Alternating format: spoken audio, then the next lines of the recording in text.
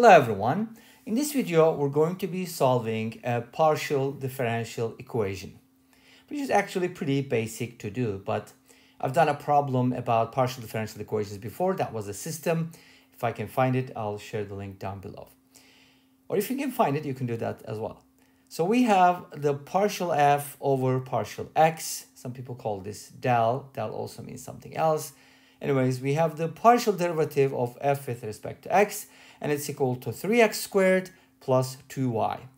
And we're supposed to solve for f, but we're also given another equation, which I'll talk about.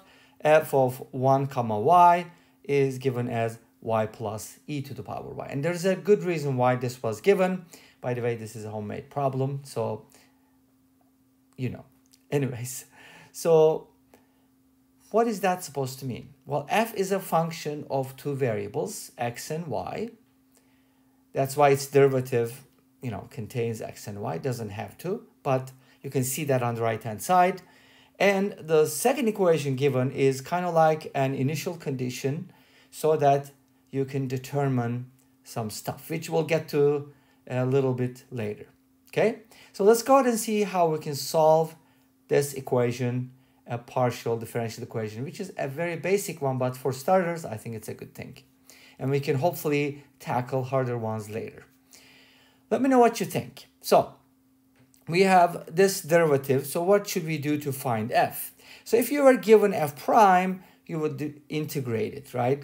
So we can do the same thing. We can go ahead and integrate 3x squared plus 2y but we're going to need to do that with respect to x because basically if you integrate partial f over partial x dx, that should give you f with a constant, right?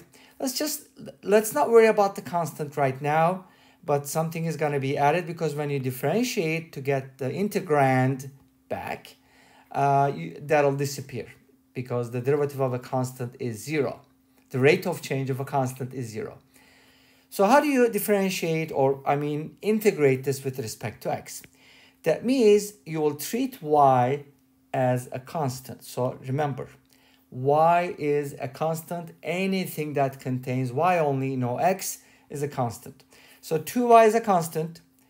And 3x squared, if you integrate it by the power rule, it's going to become x cubed.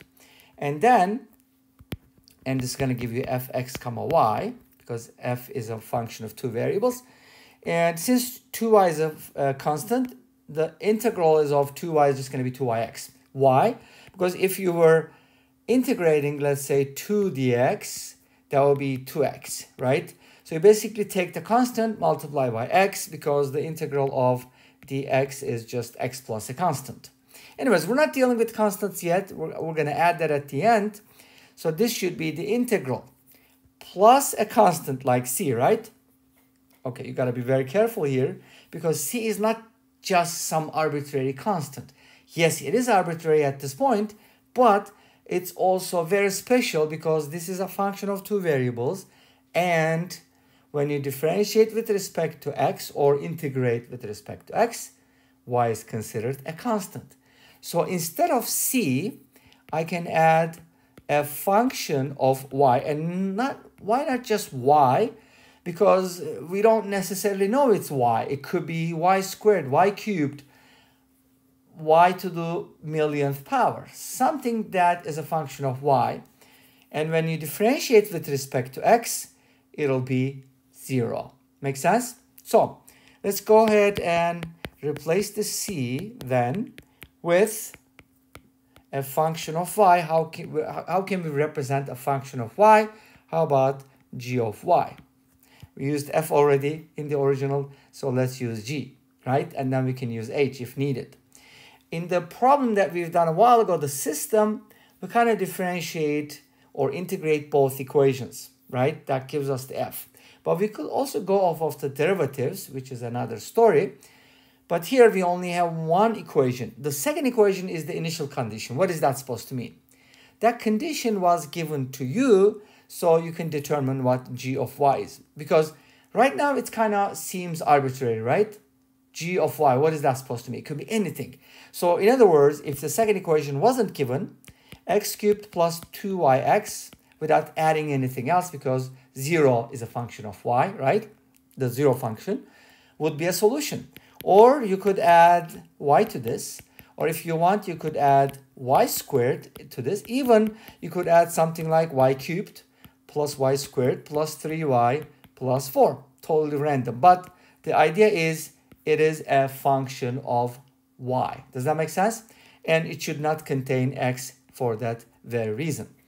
But we were given another equation, so how do we use that? The equation gives us f of 1 comma y equals y plus e to the y. Now, what is that supposed to mean? What does f1 comma y?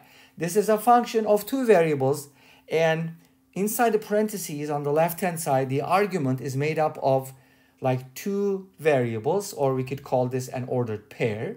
So f takes an ordered pair and returns a single value. Make sense? So we kind of, our function machine looks like this, and then we'll have a single output, right? Like this. So you input x and y, our function works, and then you get an output, spits it out. So this means that x is 1, because it's normally f of x comma y, but now we replace x with 1, so that gave us f1 comma y, or it was given.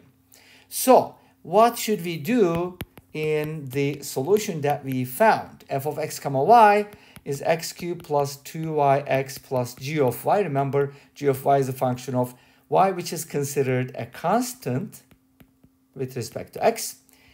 We should replace x with 1 so that we can get f of 1 comma y. If you replace x with 1, you get 1. If you replace x with 1, you get 2y, and this just becomes g of y. Again, g of y we still don't know, but we can set it equal to this, which is the same thing, y plus e to the power y.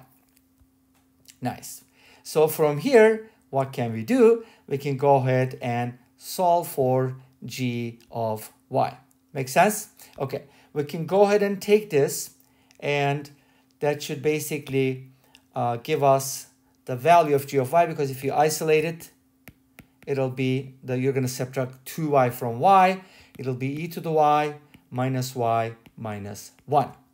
And since this is g of y and in the original solution, we have that, we can go ahead and put it back, like substitute, x cubed plus 2yx plus e to the y minus y minus 1. This should be the entire solution. Again, we were given an initial condition, so we could determine what that constant is at the end. And this brings us to the end of this video. Thank you for watching. I hope you enjoyed it. Please let me know. Don't forget to comment, like, and subscribe. I'll see you next time with another video. Until then, be safe, take care, and bye-bye.